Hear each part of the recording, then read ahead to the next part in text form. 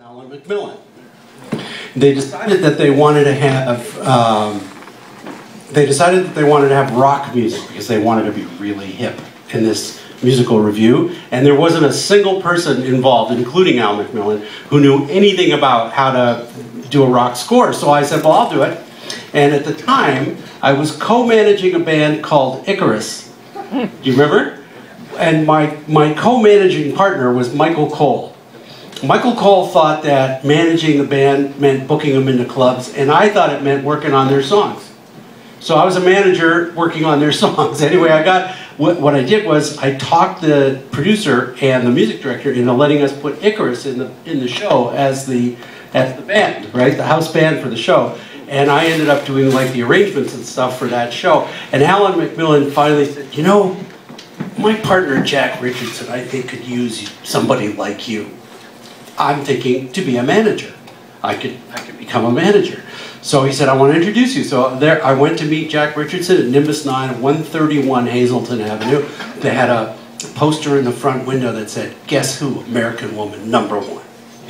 And I went, man, this is the place. I'm in the place. So I go in there and I sit down with Jack Richardson and I'm just the punky, brashest 19 year old and I say, I'm going to be a manager for Nimbus 9. Jack goes, no, you're not. and I say, excuse me? And he goes, that's not what you mean, kid. Like, what you mean, kid? This is really frustrating. I'm just going to talk to you. You can hear me, right? Yeah. I'm just going to talk to you. So Jack said, that's not what you mean, kid. What you really mean is you want to be a producer. And I had no idea what that meant. So, but it was a job. And I was like, okay, I'll be a producer. And, and what happened was, uh, I guess Alan had pre-sold me. I had a good enough attitude. I presented myself well enough to Jack. He liked my energy that he decided to take me under his wing. And this was a man who at that time was the producer of the number one band in the world. Right?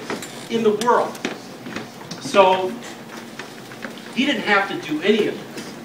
But because he, as many of you grew to know, those of you that had a relationship with Jack Richardson, um, tell me when, boys. How's that? Okay. Um, he was a large man. It takes a big heart to power a large man. And he had the biggest heart in the world. And, and, and this was a, someone who decided he believed in me. And, and he, because he believed in me and because he had such a generosity of spirit, he decided he was going to train me and give me opportunities. I ended up um, being glued to Jack Richardson's side almost, almost literally. Wherever he went, I went. And I was the, I was the, um, I was the advanced man, meaning if he was going to produce a band out of, like we, we produced this band called The Chosen Few from Muncie, Indiana, who had to change the name because there was a chosen few in every city in the world. So, but anyway, we went to Muncie, Indiana to work with these guys, and I had to do the rehearsals and work up their material. Then Jack came, and Jack would produce. And when Jack was there, I stayed right beside him, watched everything he did, listened to everything he did. And after the band left, Jack and I on the in the cab back to the hotel, I'd have my little notebook, and I'd go, Jack, Jack, what, what did you mean when you said this? And then we get to the studio we, he liked to record in Chicago. Jack loved RCA Mid America Studios in Chicago. So we would fly from Toronto to Chicago on a Monday to work until Friday night, and then Saturday we'd go back. Sometimes we wouldn't go back, as Shirley would say. Right? He knew because Jack was missing from home a lot because he was working in the States all the time. But on those flights, I'd have my little notebook and I'd go, okay, condenser microphone. Jack, what is a condenser microphone and why? And he would draw little diagrams for me and explain it to me. It was like the greatest education a kid could have. So that when I turned 20 and uh, Jack sent me to the Eastman School of Music, I'd been working for him for, I don't know, two months maybe. They had me doing jingles, they had me doing all kinds of stuff. They sent me to the Eastman School of Music for a two-week production course uh, engineering and production course with a guy named Phil Ramone. How many people here know who that is? Oh, yeah. Okay. Phil Ramone and David Green, who li- who still lives here, right? Yes, David Green, an amazing engineer. Those two guys. So I showed up, and because I came from Jack, for whom they had a tremendous amount of respect, they at least gave me the time of day. They they let me at least speak once, and then they liked what they heard, and then they took me under their wings for two weeks. These guys were like available to me, and I got more time on the console than anybody. Because why? Because I didn't sleep. Because every waking minute of the day, I was either getting information or I had my hands on the board. And then I got back to this to uh, Nimbus after that, and Alice Cooper's manager walked in the door and said, "I want you to Jack. I want you to produce Alice Cooper." Now, Jack Richardson was a very straight ex ex advertising executive, guy who wore a suit and a tie, literally, to produce rock music. This is before Jack got groovy, right? He was still pretty. He was Jack was still pretty straight. So when he saw the original pictures of Alice Cooper from Easy Action and Pretties for he looked at these five creatures of indeterminate sex with wearing dresses and braided mutton chops and makeup. He was like, eh, can we swear in this room? Yes. Absolutely. Are you sure? No fucking way. He would look at. He just looked at this, and, and Jack never swore either at that time. It started later. No fucking way. So he looked at me and he goes, "Get rid of him." And my job was to get rid of Alice Cooper. That was the thing. So, so then they kept bothering him and bothering him, and and, and, and in the time-honored uh, tradition of any mentor, what do you do when someone's bugging the shit out of you? You throw the kid under the bus. That's what you do. so Jack said, "All right, I'll have the kid take a look at the band. If the kid likes them, then I'll take a look at the band." So then they started bothering me, and and my job was to get rid of them, and I didn't know how to do this. So finally, I got sent to New York City. It's a long story, but I'll just cut to the chase. So went to see them play at Max's Kansas City, a midnight show on the 8th of September, 1970. I will never forget it. And and uh, and this show was unbelievable. They were like, first of all, walking into the club, it was like walking into a Hieronymus Bosch painting. Everybody had spider eyes and spandex, and they had jet black hair and jet black lipstick and black fingernails, and, and they all knew all the words to all the songs. And these, then they had sets and props and amazing lighting, and then they had a big pillow fight, and there were feathers all over the place. It was unbelievable, and they actually even had a couple of songs that I liked, and it just was it was an amazing. It was, a, and I'm just a hippie kid from Toronto, you know, and I'm watching all this stuff goes down. I was with a friend of mine, and, and after the show was over, I looked at him. I was like, "What was that?" He goes, "I don't know, but I think I liked it." And I said, "Well, I fucking loved it." So I went running up the stairs to the dressing room of Max's Kansas City, and I burst into the dressing room and went, "We'll do it." we will do it because I think you guys can make hit records. And they go, Well, we think you guys can too. I said, Yes, we can. And we'll do it for you. We will do it. And they go, Great, when do we start? I said, I'll get back to you immediately. And then I go out in the street and I go, I am so fired.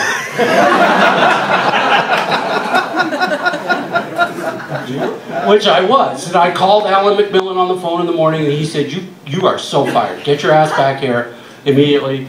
And so I did, and I came in, I, I, I got off the plane in the cab, I'm rehearsing what I'm going to say and everything, and then I, I come up the front steps of the, of the office and I go right into Jack's office, which is right to the right of the front door as you come in, and I go in and my, the first words out of my mouth are, you don't understand!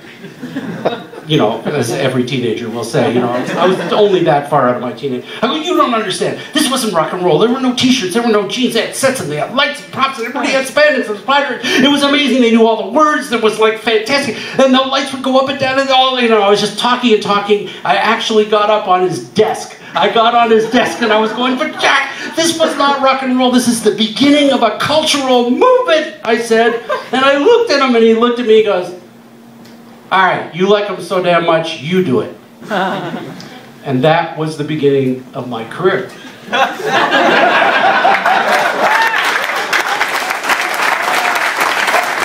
I think the uh, my favorite part of that story that you left there was coming face to face with Alice Cooper in the dark with a hammer in his hand Yeah, well, and thinking he was going to club you on stage.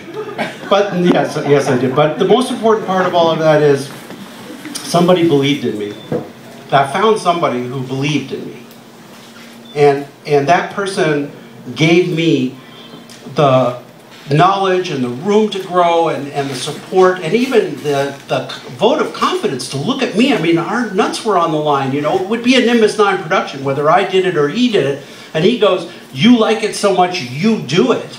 That's unbelievable. And, and, and if I hadn't had that, I don't know whether I'd be doing this now. And I, I don't know whether, you know, I would have found another way in. The one important lesson from all of that is that if you have that opening, even if it's a sliver of an opening, you go through it with everything you have. Don't sleep. Don't stop. Ask all the questions you can. Most importantly, instill confidence in that person who is giving you that break. If they are confident in you, then they will open all kinds of doors for you. And the, and the ancillary lesson is that those of us in this room who have a platform and the ability to do that for others, we have an obligation to do it. So we started a school, but aside from the school, we've both had people that we've worked with that we have that we have mentored and brought through the system and given the same kind of breaks that we had when we first started. You mentioned that uh, Jack had a belief in you, Bob, um, and now here you are in a position where you know people will approach you and, and, and give you their demos. What and, and, and, each of the producers on the panel can answer to this, but what, what is it about an artist that makes you want to work with them? Is it is it their their songwriting first and foremost? Is it their is it their ambition, their desire to succeed? Is it is it the full package? What, what as a producer makes you want to work with a particular songwriter? Um, by the way, I want to point out, good call, well spotted. You didn't wait for it to completely go out. You have another mic being prepared right here because we heard a little. Give it up for Greg. Yeah, give it up for Greg. give it up for Greg. Um, well, put it, I I uh, judged the Battle of Bands last night, the Jack's Battle of Bands, and I'm so excited to work with the band that won last night because they were 17 year old kids and they just dominated. It was the third show ever, and all four judges stood up and just on our feet the entire set, and that just it was I don't know it was amazing to see young guys that just they're just passionate about it and they're rock stars and they're 17.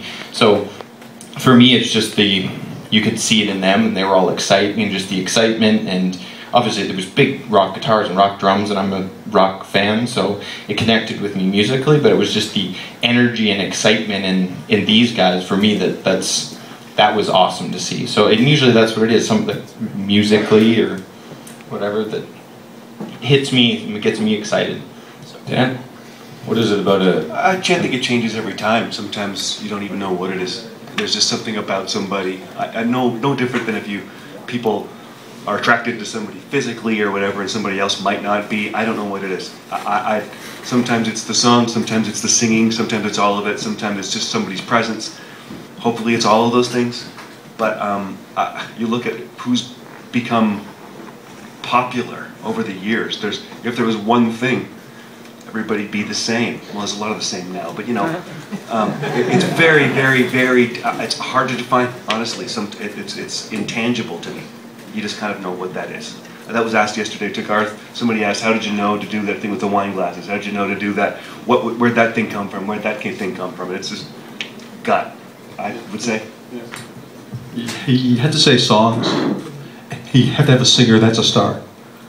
Because if someone that's up on stage and he's actually boring and there's no you know, there's no vibe, then it's just not going to work. So it's always the song. The song comes. The, the song comes first.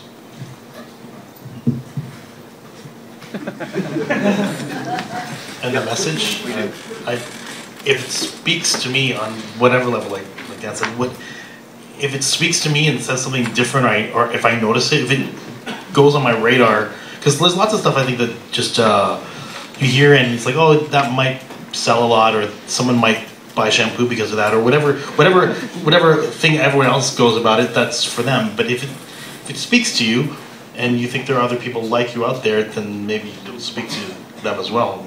You can help uh, be the conduit for that message. I, I look for connection. I look for somebody who has a, um, who's found an inner voice, tapped into what they what a lot of people call the fractals universe, the, universe, the underwriting deep message, and uh, that sings to the soul. Because I think what the business that we're in is a soul food business. Our job as create, creators of music is to have people have soul food. And why do people are constantly coming back to music? A multi-dimensional art form that crosses all barriers of language. It's because it feeds our soul. And when it feeds your soul, and then somebody, when you find somebody who knows how to use that language, and, and quite often it's the song, but performance as well, when they speak that language, you just know it. And all of a sudden that, it, it um, empowers everybody. And it's, it's, it's compelling, you just want to be a part of that. Bob, what is it about an artist that uh, would make you want to work with them? Um, well, I think it, you know, most of it's been touched on here. Um, but I think for me, the most important thing is that there has to be uh, uh, abs- I'll tell you a story. Best way to answer this is to tell you a story. So my daughter was uh, was a junior executive, uh, a creative exec in a movie company in LA because we were living in LA, and she had gotten a job in the film business by accident. Worked her way up to being a junior creative exec, working for a guy like the like the one in Swimming Swimming with Sharks. Has anybody seen that movie? Or or The Devil Wears Prada. You know, she had that boss. That's that kind of a boss. And one night she called me because she would every night she would call me in tears. And one night she called me and said, um, "I'm thinking of quitting. Is this the worst uh, decision that I've ever made?" And I said, "Let me ask you a question. Would you die if you didn't make a movie?" And she thought about it for 30 seconds, and she said, I'd be deeply disappointed, but I wouldn't die. So I said, then you have to quit. Because there's two kinds of people in the world. There are people who work to achieve something, whether it's make money, security for their family, fame, fortune, whatever it is they work for. Those people work for a goal, and they, they get to choose how they get there, or how they try to get there. And then there's this other group of people who are born with a calling and they have no choice. Those people, if they don't do what they were born to do, will die. And sometimes they die doing what they were born to do because it's so compelling and overriding of everything else that it fucks up their life and, and, and hurts them. But so when you say, what am I looking for in my thing, I think I've been pretty consistent in only going for the people in group two. That's that's what I look for. Yeah, and so and conversely to that though, what um, you know, what should uh, artists be looking for in a producer? What what is the, the the main selling point of a producer that would make a producer attracted to uh, a singer-songwriter or a somebody that, that would be like a father to them, somebody that would be like actual guidance counselor, somebody that'll help them to them hold their hand, help them find out who they are. You know, you know, actually hunt down these walls, make them feel. You know. Dan, you want to weigh in on that? Yes. Please yes. do. No, exactly. no, it's exactly what he said. Um, um, musically, I think a lot of people can connect with somebody. Um, it's, it's definitely different to get somebody to open up in front of you, make you feel safe. I always say in talking to students, especially about recording a vocalist, that you have to, you know those things, who here sings? If you sing, you'll do things alone you won't do when other people are, that sounds wrong.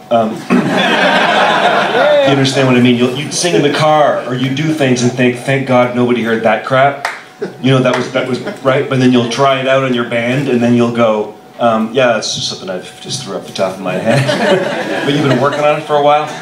Um, those you need to make somebody feel comfortable enough that they are doing that in front of you. You're not even there, or we can both laugh together if it's a little bit funny. Uh, if they somebody does something odd, there it has to happen very quick. You don't have much time to gain somebody's um, trust. Trust is, I think, would be the biggest thing. And I think you'll know that right away. An artist would know that right from somebody. If you've got a used car salesman vibe, you know, I don't, I don't think that would work. Aaron these guys, what they've just said, it, yeah, the, you're obviously you got to someone you got to be comfortable with, and so yeah, they they already said it. With, uh, with respect to, um, you know, giving industry tips here, we talk about what, what uh, a producer might look for in an artist or what an artist might look for in a producer. Bob, I saw you, uh, you interviewed um, a, a while ago and uh, you, had, you were part of a music panel and a number of people had given you their demos.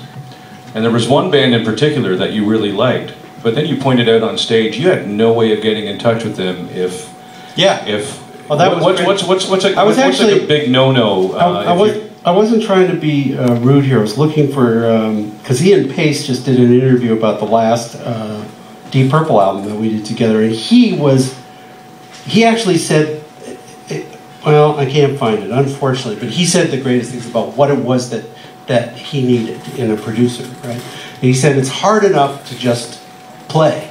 It's hard enough to just be me. And in the studio, I don't want to have to think about anything else.